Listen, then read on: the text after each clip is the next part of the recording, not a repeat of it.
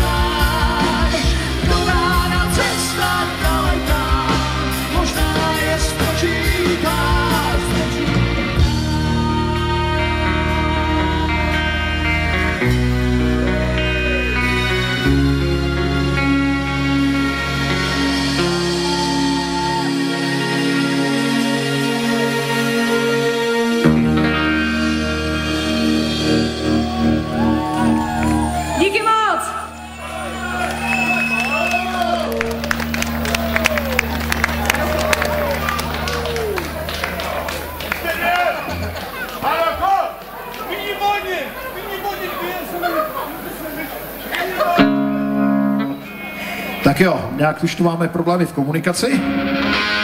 já jsem nevěděl, já jsem nevěděl, že ten pokyn je na mě.